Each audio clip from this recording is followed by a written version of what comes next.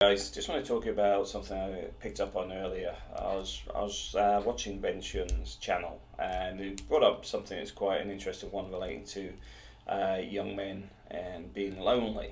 Um, I would actually he's correct. I would say when guys are younger, they're trying to find a way in the world. So as such, even if you're forward planning, you're still at the beginning of that journey, and a lot of the stuff that we are focused on through media and whatever is about being a couple. So, as such, the focus is predominantly on relationships and maybe focused on career, but relationships still takes a huge chunk of time, etc. And also where people don't want to be alone. And it's is it insecurity? I'd say some of it's insecurity, but some of it is the lack of experience of many things. But I also find that in your younger years, it's harder for a male than it is for a female. I mean, what you're looking at is a shift with females. I mean, the town I was living in in my teens, um, you have ladies' nights. So at least three nights a week, ladies' nights. Ladies don't pay for drinks, they don't pay for club entrances, they don't pay for nothing. Where did that extra money come from? The guys, obviously. The guys are paying more than the, the going rate for drinks, they're paying for entry into all the clubs, etc. And for people that may not even meet, in the sense that the ladies' drinks are free, but those ladies may not even be with you. So you're paying for drinks for people you're not even socialising with, which is all a, all a bit weird and skewed. Um, but at the same time, that is the state of Western society. That imbalance is, is already occurring. Now, the reason I'm bringing this up is uh, Vincent made a very good point relating to when you're getting older. It's like myself. I'm fairly independent financially. I, am financially stable. Um, although I, I, have a family and whatever, at the same time, I, I am not um, reliant on anybody else. And although I, I have my responsibilities, if I was a single guy, I would still be financially viable. I would still be able to um, function very easily. And that's one of the important things when people get older, women are doing the reverse because they're a lot more confident when they're younger because they want to get a lot of experience and things out of their system before they settle down.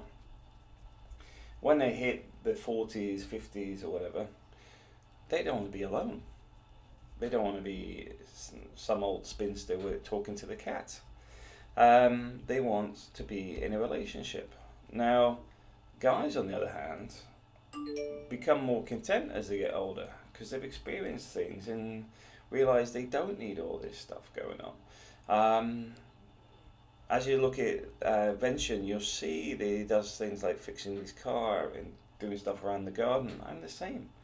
Um, I was at the, I mean, I don't know if any of you guys follow me Instagram, but you see I was at the garden centre the other day. I won't be doing that in my 20s.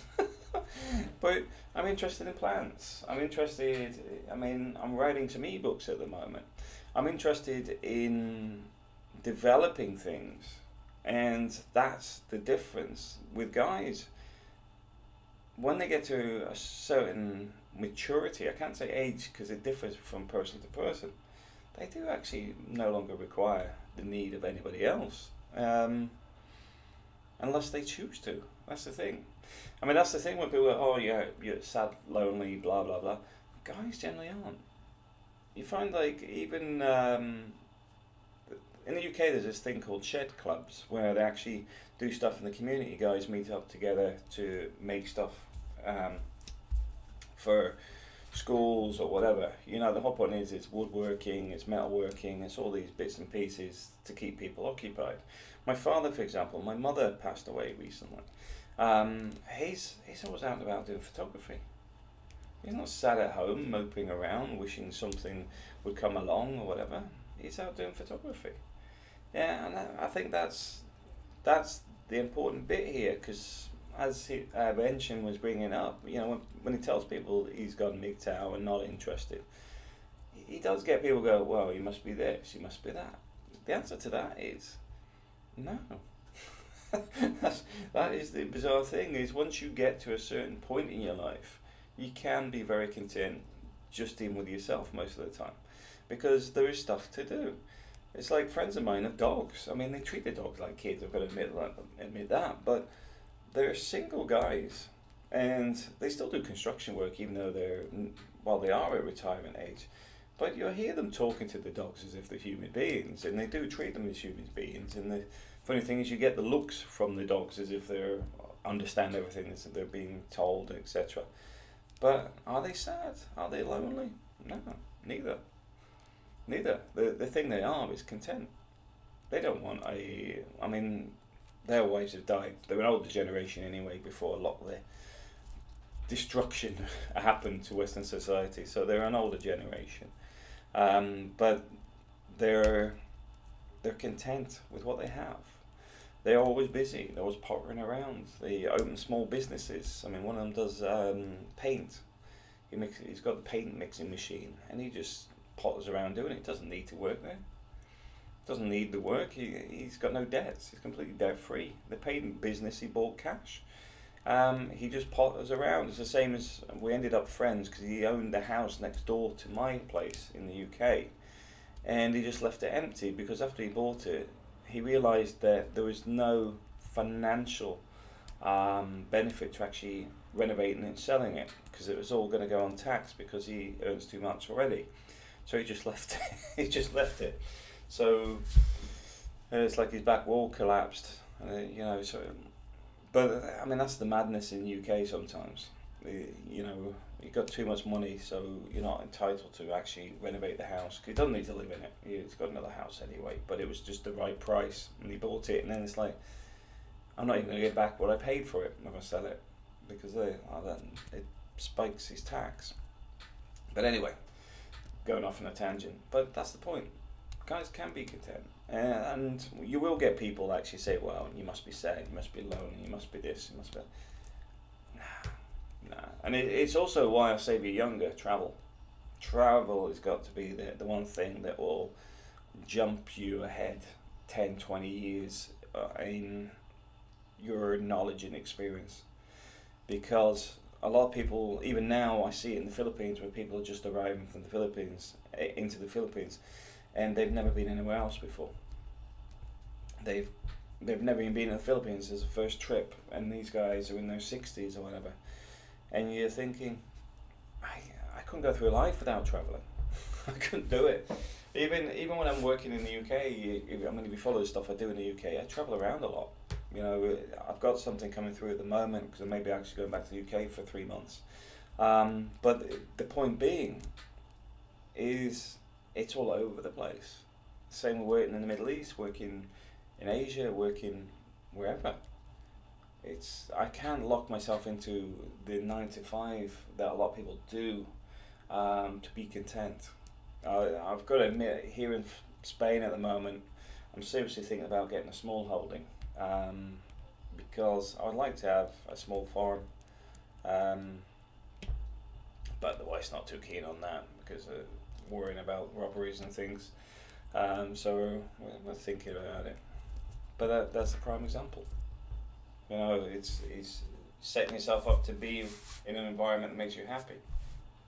And that's what a lot of older guys do because they haven't got. I mean, a lot of guys have had the problems with um, divorce where it's not just hammering for the money. The money is a obviously a primary problem, but also there's a lot of emotional drain as well with dealing with the frustrations, the manipulations, and everything else, and the stress of not knowing how much things are really going to cost or uh, coming out of there and then getting the legal fees for the ex as well as you and all this sort of crap. Um, so there's a lot of stuff once you get out out and past that, you're like, I know, this is me time now. I've done all that. Don't want any more of that hassle. Don't want to go through the same again. Um, and that's where I think a lot of MGTOW are coming from. At the end of the day, I understand completely. And even then, the, the opportunities, if somebody actually did want a girlfriend or whatever, you have to question is it companionship? Because if it's companionship, then there's plenty of other guys out there. You know, companionship doesn't doesn't involve anything sexual. What I'm talking if you want somebody to go on photography tours with you or help you build stuff or whatever, it's, it's more of a guy thing anyway. Um, but if it is a need for a relationship, even then, there's a lot of women out there that have come out of relationships and they're often, like I said, better off, but at the same time, it's also what makes them undesirable. It's, it's knowing they've done something previously and I've got to admit there's there's been a couple of instances myself where I've been in relationships and there's been certain things said. You know when the relationship's really strained and you're already half out the door anyway. And then there's certain things that are said you just thought, yeah, today's the day. Because there are certain things where it's taken from like the, the word right. The word right is a prime one. Um, there is no recognition of responsibility, respect, um, impact. It becomes a I have a right regardless if it's right or wrong. Because it's not a right, it's privilege. And this, this is why I separate the two because right gets used for everything. And somebody paying somebody alimony is a privilege, it's not a right. Because at the end of the day, it's a privilege because if that person decided never to work again, you can have a right to it, but you'll never receive it. So receiving it is a privilege because they're actually working to pay it. There's nothing to say that that guy couldn't get on a plane and head off to the Philippines or whatever. And I know guys that have. And it wasn't because they were uh, bad guys or whatever. I mean, the one guy, he his wife had basically bankrupted his company because of the interference from her lawyer, and she did it in a very spiteful and evil way on purpose. Um, and then, hello, the guy's not here anymore. The business is gone. He's not writing any checks anymore. He can't pay me. What do I do now? But up to that point, she hated him. You know, she she got the five kids, getting divorced, unhappy, bitter, all this sort of stuff, and she just wanted to be spiteful and pretty much evil on it, in the sense of used used and to the max. But when she finally broke broke the camel's back, she she's then sitting there going, "It's still his fault." Still his fault.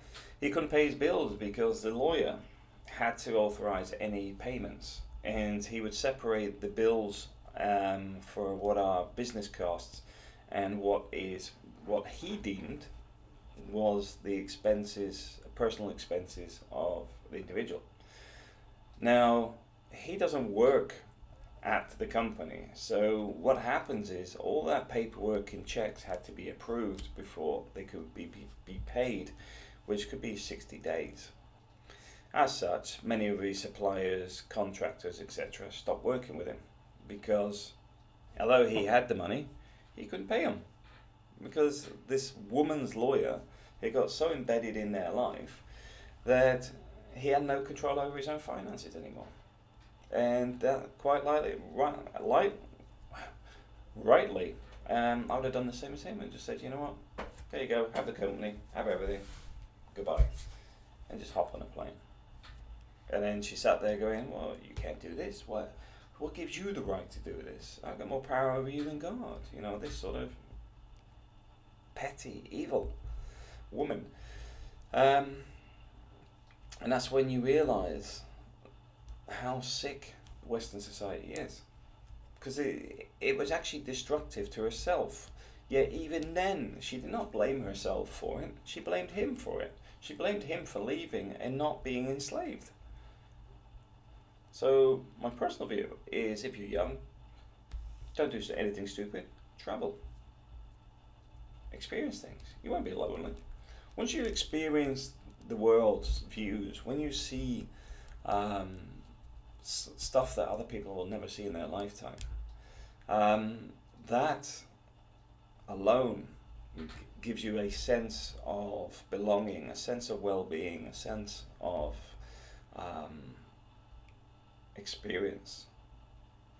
because you've already done something many people never do. But then if you enhance that with things like riding a motorbike across um, the Sahara or something else, if you want to go down that route, you're also doing something that 99.9% of the population will never do. And that's one of the things I do like about traveling, is the fact is you can open yourself to everything. I've got to admit, I am one for going off tourist trails. Um, I'm not one of these ones that do the package holidays and stuff like that. Um, I am more of a person that will go somewhere then go everywhere else that beyond what everybody else is doing because it's where you find the little unique things and experience local cultures and stuff that aren't trying to sell you their brochures and museum access etc you're dealing with the real people doing the real stuff which is the stuff I like um, unless it's historic then Into architecture as well that's part and parcel of coming from construction and surveying um, but when you're young, realize that you don't need to be with anybody. What you need is to enhance your life, set yourself up for a long term uh, environment. But that starts with actually understand what you want to do. And one of the things I did, I mean, I told my daughter this, though she doesn't take take much notice of it.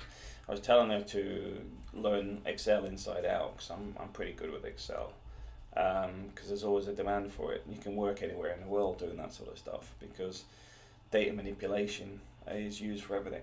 And although a lot of things are put through databases and um, utilized for many things, a lot of time they need it in spreadsheet form and manipulating the data because a lot of stuff I do is actually pre-done in Excel before it goes into computer systems anyway to get it in the right uh, formats and the right calculations etc and that that's a lifelong skill because at the end of the day those sort of things are something you can use to make money anywhere.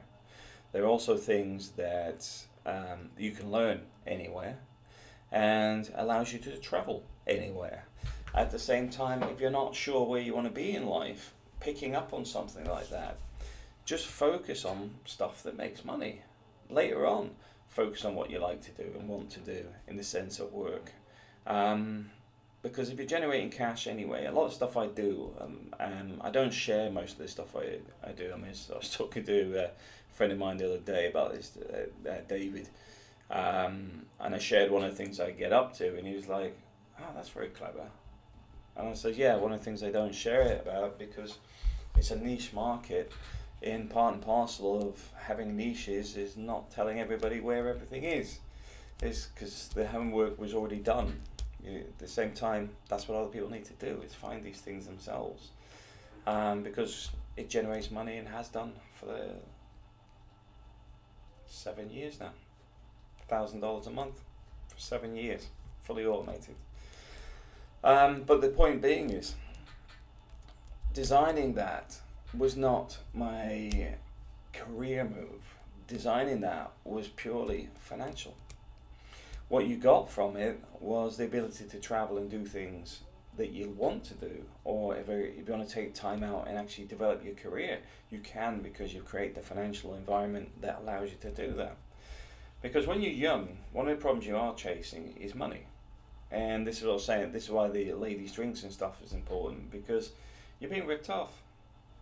You're being ripped off. You're seen as the the um, easily manipulated guy that is desperate to meet women and all this sort of stuff. Sidestep it. Women will meet up with you anyway. If you expand your real world scenarios instead of focus on nightclubs and stuff like that, you will find you come across better women for a start. Um, but also, don't lock yourself in. Because I'll tell you what, the one thing that I find most women find attractive in men, which this is from my own experience, is being unavailable. Because if you're not interested in unavailable, they are assuming there is something that they're not doing right, not the fact that you're just not interested. Um, but it seems to draw more more interest by simply saying, look, I'm not interested in a relationship. I'm not, you know, I'm married anyway. But I mean, even before that, I was just like, I just want a peace, peace and quiet. Um, yeah. So, if you're younger, experience life, but don't lock yourself into the failings. Um, look to generate some long term income. And if you're uh, older, find what makes you content. If you haven't already. Because, I mean, a lot of MGTOW guys are already content anyway. They understand exactly what I'm talking about. Um, like myself, if if I was single right now, there's I could give you five things off the top of my head I would actually be doing. My drone flying, photography, um, gardening, definitely, aquaponics, and writing books on not. See, one of the things that does bug me, and I've got to be, it's been bugging me for a while, zombie movies are really bad, and survival movies are really bad. Um, and it, it's got worse. That's got worse for recent years. And I sit here with my wife because I can't watch any of that mainstream stuff because I don't understand where these people sit there and talk about their emotions and worry about what somebody's thinking or whatever. Because I'm not being funny in that environment. Unless you're actually in that long lull, which is where you've gone through a traumatic experience and then suddenly in a very very safe environment to the point that you can just go over what happened earlier you're not going to sit and have a conversation about how little billy feels about somebody else and how they spoke to the mother i think there is some fem so i'm trying not to be anti anti female in that sense but i do think there's too many female writers in that they've never been in those environments. Because a lot of people shut down. They don't sit there and talk to you about this stuff. They lock it up. You get into these situations, you you don't sit there and converse with people about it. You lock you lock yourself up. You do not you do not share those things. They're your thoughts. It's the same as um, people in conflict zones you may get them talk to other people that have been in the same situation, but generally, it's not. It's not something that just sit and randomly talk to people about. And I find that a lot of these survival movies and stuff are now focusing on the relationships between different people. But in that environment, I ain't, it ain't gonna happen. There's too many things going on.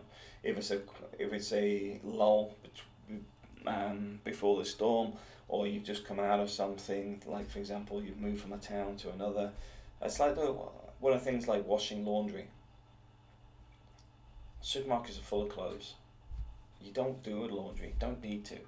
You, you just go and get more clothes. You take a stack and then you just throw them away and get new ones every time you, you come across a new supermarket. Um, but it's the same with things like you'd be focused on food, power, shelter, etc., etc. You're not focusing on whether little Jimmy's okay and he seems a little bit stressed. Uh, well, guess what? Everybody's stressed. The world is coming to an end. but yeah, that's one of the things I do want to actually write. It's a zombie book, and I've actually ordered some survival books as well, um, just to pick some of the stuff because um, I used to cover it quite a lot when I was younger. Um, but things like the there's been stuff upgraded. There's there's different ways of doing things now, and I'm, I'm just trying to get my head around it because I might write a book on it. But there you go. And you may go, well, that book may not may be garbage and may not be published, but you know what? It's not about that. It's about doing something I like doing, and that that that for me is all all that matters. And that's the thing. This is where where the older generation guys may get hassled going, well, you must be sad because you're living on your own and lonely. It's like, no, content. These guys predominantly are content because they got stuff to keep themselves occupied and busy. They're not they're not getting involved in petty stuff. They're involved in stuff that has meaning and value to them.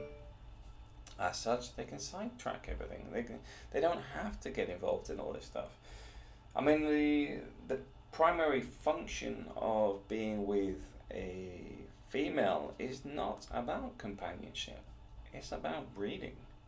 That is the primary role.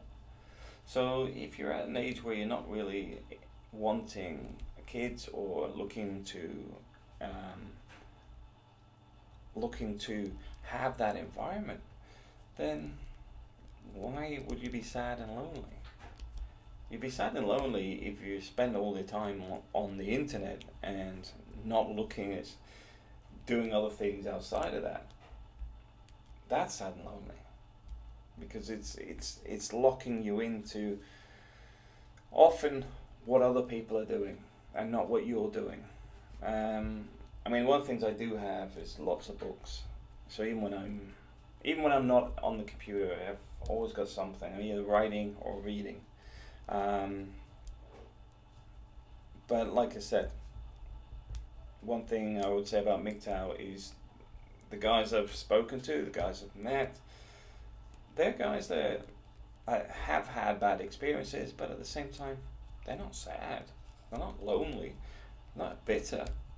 What they actually are is just having independence and self reliance and confident in themselves. It's not a weak movement. It's not a um, it's not a group of people that have no responsibilities or recognition because responsibility is something that was brought up as well. Um, responsibility is based on choice as well. I do think that we were talking about this guy that dumped the kids and ran in the Philippines. Now, my view on that is different to uh, Vention's on this because I, I do believe that if you have children, then you're responsible for them. Now, the argument being that if the woman had decided to do this, um,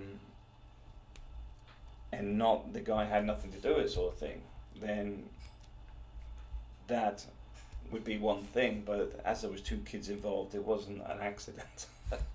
um, in the same way, I do know there was a Dutch guy I met in the Philippines. I stood in the taxi line at Alamal, just standing there, and he's this guy was nearly eighty, and he said, "You know what? My my girlfriend's pregnant." And he found out that the doctor had been selling placebos as birth control. So there's lots of scenarios where, where um, unplanned things happen. But a guy with two kids is not unplanned at all. Um, but then taking the kids to dump on another woman and running back to the US, that that says it all, you know. And I do find that sort of guy an embarrassment to the human race, never mind just to guys, because it's the it's the exact reason that they use legal systems against uh, men because of people like that. Because, like anything in the media, they focus on the worst case scenario as the norm, and he is probably the worst case scenario. He's left his two kids in a third world country. Um, for me, yes, uh, and I'm well aware there's, I think it's about 10,000 um, kids up in Manila alone that have Western fathers that have basically disappeared. Um, but at the same time, we have to accept we have responsibility from both sides. Um, see, getting see the Philippines is too easy to to have kids from a guy's point of view and dump the responsibility onto the women. You've got to understand that there are still disputes relating to birth control in the Philippines because of the church. You also got to understand Catholic teachings, which does not include birth control um, beyond their rhythm methods and all this other weird stuff that doesn't actually work. Um, but it's tied with beliefs and other things.